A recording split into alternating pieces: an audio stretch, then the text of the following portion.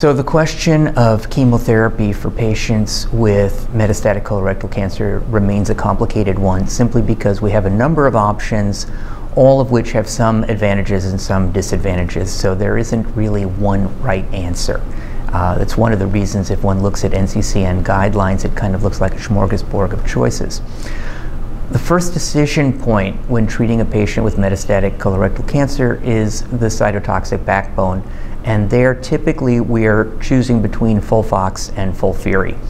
Um, this is nothing new. We've been choosing between these regimens for quite some time now, and it would be nice if we could make enough progress that we move beyond that, but right now that's where we are.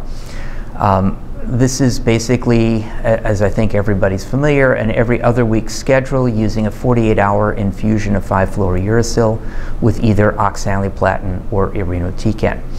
Now, when we look at the efficacy data of these two regimens together, they are really quite comparable.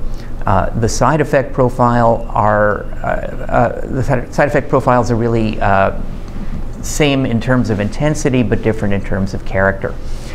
Oxaliplatin is, of course, uh, more likely to cause neuropathy and the neuropathy is more likely to be the rate limiting step in terms of a patient's tolerance for the treatment. Whereas irinotecan, contrary to most, what most people think, is not more likely to cause diarrhea, but it's more likely to cause alopecia.